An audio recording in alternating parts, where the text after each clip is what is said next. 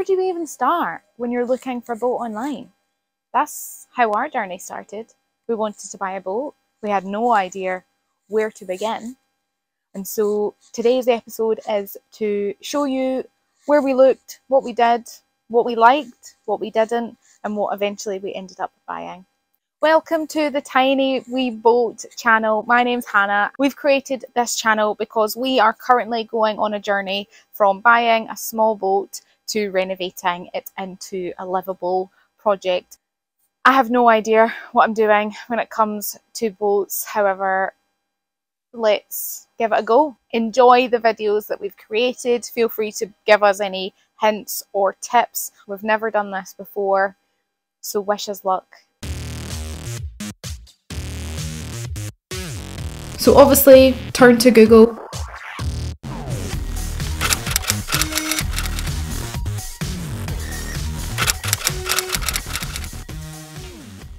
We had never bought a boat before. Luckily, Google came too. We found lots of forums.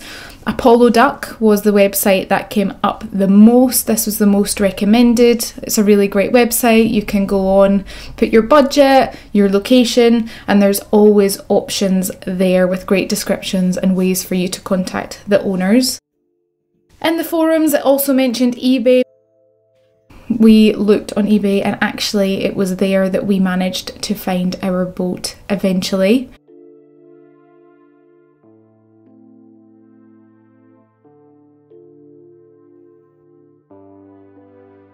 So the first boat that we went to see was the Moonraker. Here's a picture of it here. It was a really beautiful boat. We drove about an hour and a half to go and view. We were super excited. We brought the deposit in hand. We thought this was going to be the one. Um, so we went to see the boat, as you can see here. We really loved it. However, we thought it was a bit too big. This was my favourite part. This was a secret room to the right hand side, single berth. Loved it.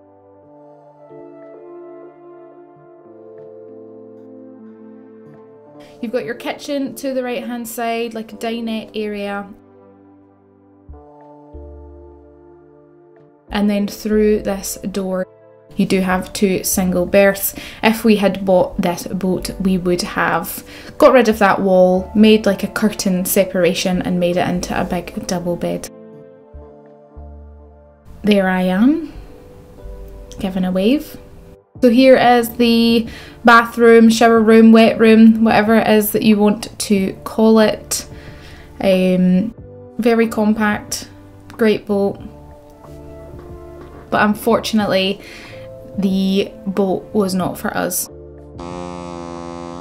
It was too big, the condition needed a lot of work. We loved the secret room to the left, but we learned from this that we wanted a smaller boat that would fit into the canals. Then we went to see the Creighton 32. Now, this was amazing. We really loved this boat. It was perfect for canal sizes.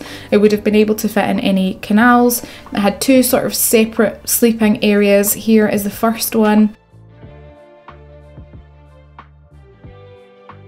You also have a little sink to your right hand side. It didn't have a kitchen area, which is something we would have added had we purchased this boat.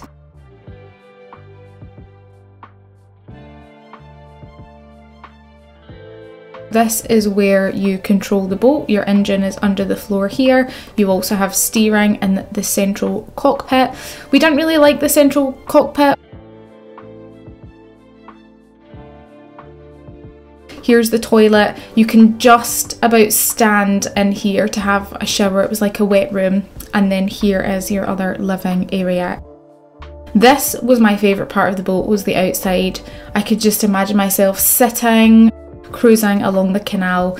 However, Victor couldn't stand in this boat, and that's the main reason we didn't go for it. So we thought the size was perfect, it was in great condition, we really loved everything, but what we learned from this is that we really needed a boat that we were able to stand in. Thirdly, we went to see this Springer. Now, this was really exciting boat. We decided that we wanted something small after seeing the Creighton as well. It was narrow enough to go through the canals. Condition wise, it was an empty shell, and that's what we were looking for. You can see there's not really much on the inside. It has everything that you need for a renovation project. You've got two single sleeping areas there, and you could also have a double sleeping area up the top.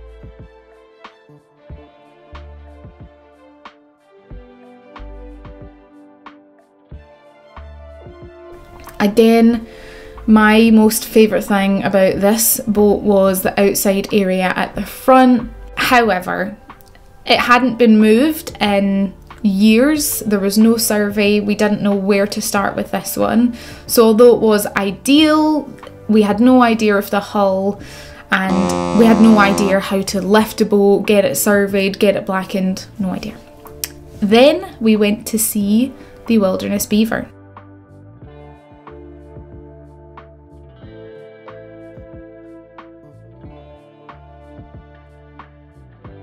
So we've got a little tour here. This is from the front of the boat. You've got some sort of seating area at the front. We'll get a full tour of the Wilderness Beaver later on.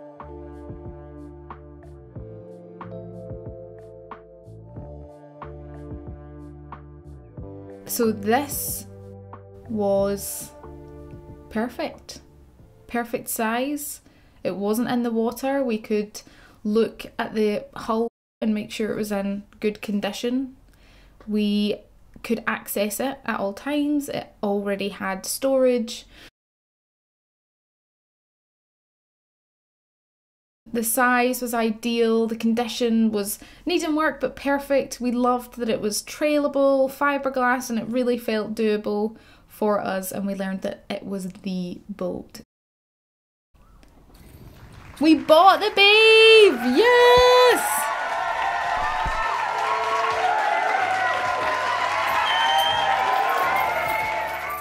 We all love it, and that is our video for today. So I hope you enjoyed. Feel free to give us a like and hit subscribe if you liked the video. Our next video is going to be a tour of the bees with some history and information.